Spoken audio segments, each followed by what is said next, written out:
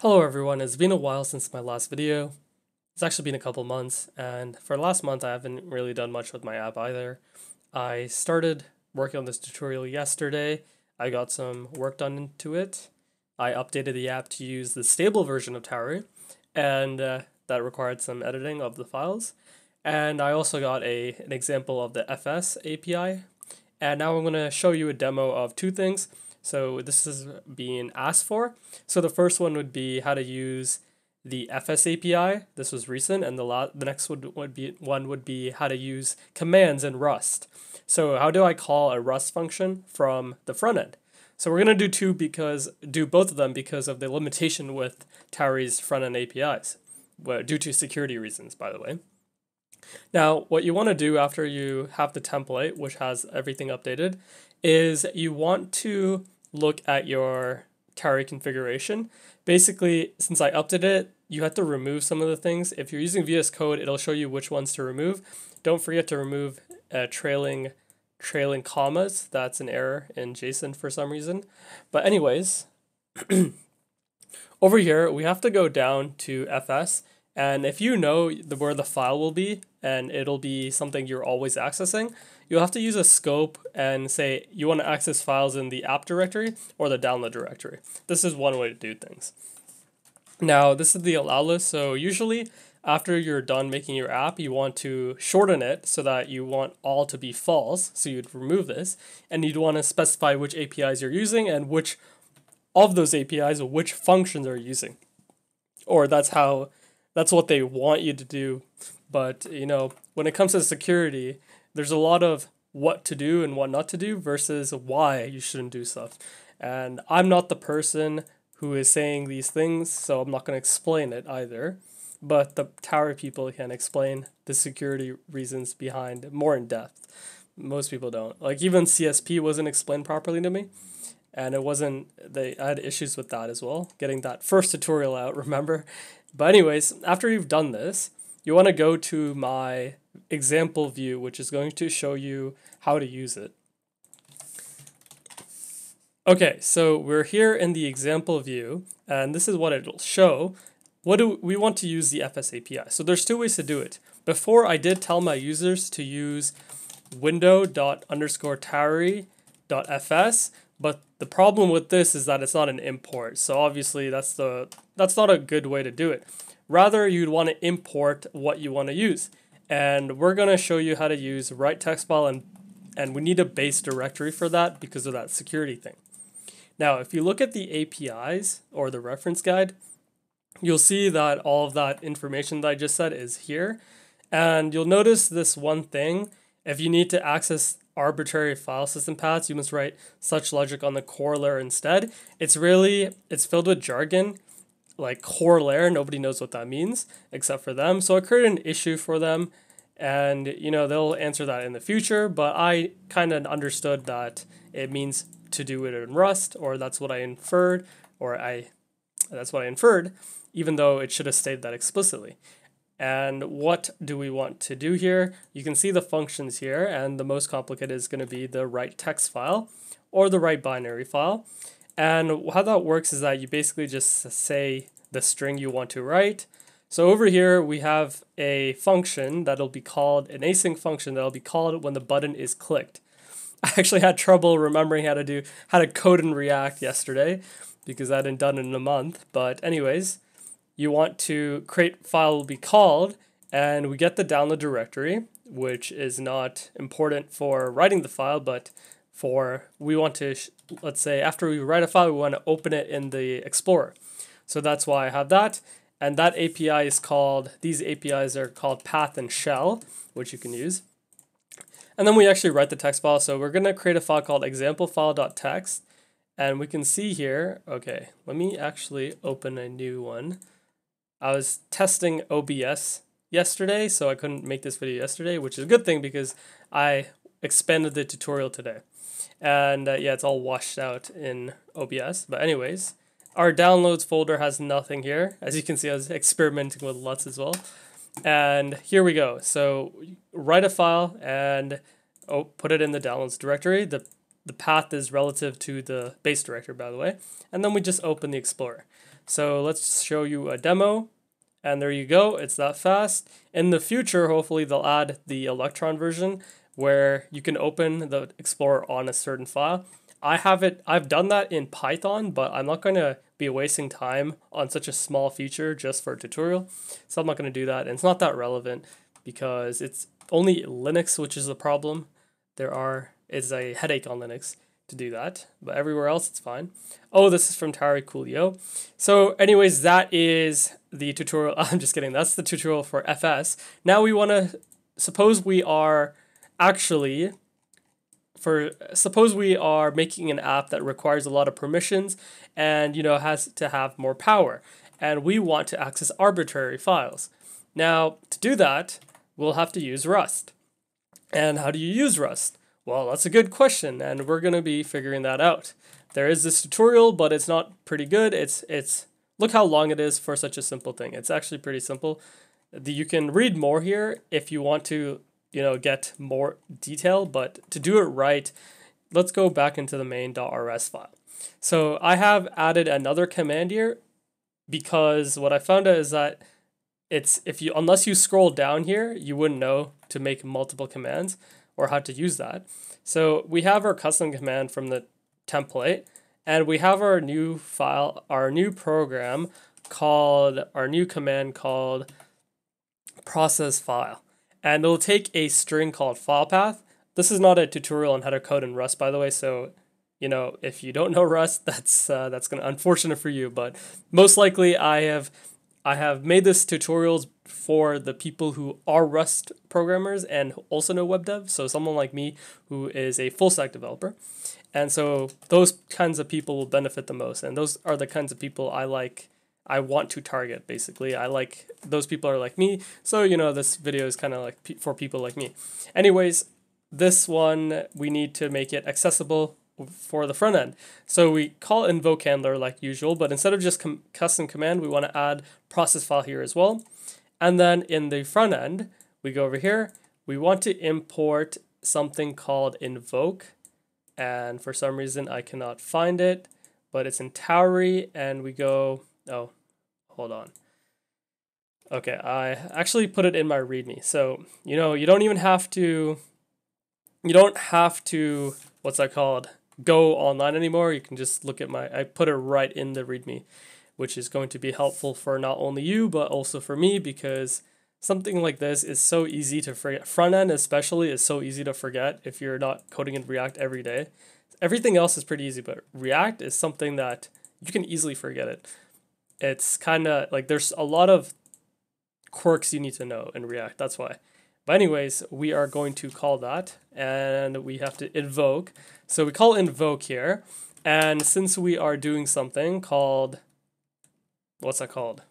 I don't even know anymore. Don't, don't ask me. I forget. We want to call a command and our command is called process file. So what's kind of unfortunate is that these, what's that called? These things that are called invoke, you have to call you have to use a string and these, these strings aren't defined as constants anywhere at runtime, which is really unfortunate. What would have been really nice is if Tauri had a suppose you could do this like from Tauri so import import commands list from Tauri. That would be really nice to do. And then your commands list would have a dot process file. And then this would be defined over here somewhere, somewhere like this. And then, you know, so that if the string does not exist, it's kind of easy to fix or something. I'm not entirely sure, but how it would work, but we don't really care. And our path now will be the downloads directory. Oh, it's over here.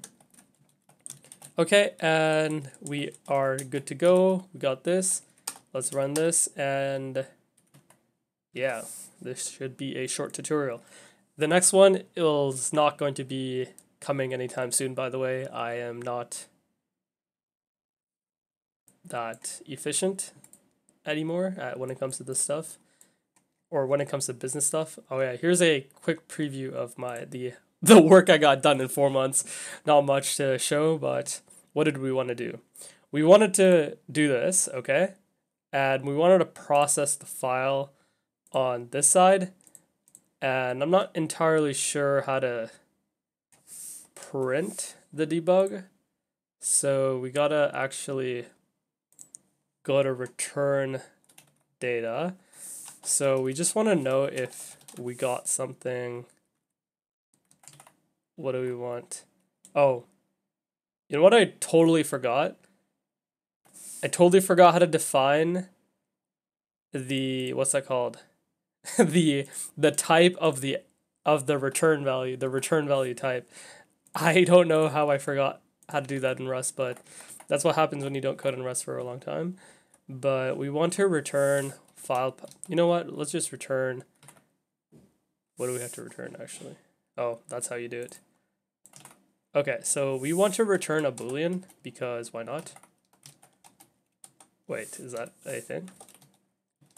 Oh, wait a sec. Okay, I don't want to return a boolean. That's a bad idea. But we want to return... See, this is what I hate about Rust. It has stuff like this, but it should have been done implicitly. And they say explicit where you should be explicit, but then they make returns implicit. I actually don't like the fact that a return is implicit because it screws a lot of things up. If you ever code in Rust and you have scopes, basically like these things, like if there's an if statement here and you didn't use a curly bracket or whatever, like it's really good. It gets really confusing when the return has to do like which scope the return is with. I made that bug once, but it's completely different. But let's just use their syntax for now. So hello from Rust. And we want to say that dot then message. See, even their tutorial has too much information. You don't actually have to do that. So then we just want to confirm that the message equals, and every language has issues. In JavaScript, there's three equal signs. Come on, man. In Lua, everything starts at one and then not zero. And then in Python, people get angry that there's no there's no curly braces. Like, come on, like people will always find a hate something to hate on. And that's my other point. I was looking at the Stack Overflow survey, and I found that that even the most popular language or whatever has haters to it, twenty percent. So what I realized is that it's impossible for everyone to like you. It's not even. It's not possible for even unanimous. Something has to be like extreme to be unanimous. Okay, it has to be so such a basic concept to be unanimous. Uh, but everything else, so many subjective things, there will always be haters for it. That is a that's all I have to say. And what did we want to see? We wanted to see if something is invalid args file path for thing that process file required missing required key file path. Oh, so I really that is that is a that is funny. if you didn't catch that, I had named my argument. Yeah, I am not gonna say anything, but that was too funny. This is what happens when you're what's that called? Doing stuff. You're making a tutorial, you don't think and then you make mistakes. But anyways, this is confirmation that the function got called and it did do stuff. Your prints won't show up because of I don't want to remember or I can't remember why, but it's basically because it's running and you know what, too much too much to explain. You can figure it out yourself. There is a something called print okay, console. Okay, but anyways, that's not really important as you can do what I just did and there you go. Anyways, I'll do a quick overview for what we did. I updated the Tauri config file because I updated Tauri, the dependencies, for both cargo and npm. I removed something called bootloader for Mac OS and something else. I'm not sure where, but basically two lines got removed. It removed an extra comma as well. Then you want to do scope for the scopes you want to access to. And then in your example view, or wherever you're going to be calling the file system from, you want to use imports rather than the actual wind underscore window dot underscore underscore tauri. You don't want to do that because that's annoying. You'd rather have access to APIs with their documentation. And then I've showed you how to use a write text file or write binary file, as well as the same goes for reading a file, except there's one less argument. Uh, but you'd still need to do this a dir base directory download. What else did I show? I showed you how to get those directories. You can actually get all of these, like the actual path to them, with download directory. And if you want if you want to access arbitrary files, you'll have to use you'll have to use what's that called? Rust itself. And if you want to open up the Explorer, File Explorer on a certain directory, I've shown you that too. You just use that open thing. This also works for URLs. Just read the documentation there. And you could also specify which application to open it with. But anyways, uh, to do Rust, then I actually showed you how to use Rust from JavaScript. So for that, we created a custom command and we did some stuff there. You need to know Rust or at least the basics of it. And then in your invoke handler, it's a list of commands, not just one command. So I helped showed you how to do that as well. And one last thing is the invoke. So how do we actually invoke it? We call the command's name as well as its arguments, if any. And the argument is argument name, sorry, parameter, okay, and then argument. So don't get them. I know I this is actually a horrible idea. This should be, uh, I'm not going to say it. Better, basically just name your, name your, what's that called? I already, I am actually blinking out again. But basically, just name your variables something that makes sense and you'll be good. So I showed you how to invoke that command. Okay, I hope this was enough for the future. Some person said OAuth, which maybe I'll look into. But anyways, that this example, this tutorial showed you how to use the FS API as well as calling Rust directly from the front end. That is very useful for a lot of people that ask for that feature or that tutorial, and here it is. I'm sorry it took so long, but I, like I said, I'm not sure if I said it, but uh, I've been going through some things for the last couple months. So anyways, I'll see you guys in the next one.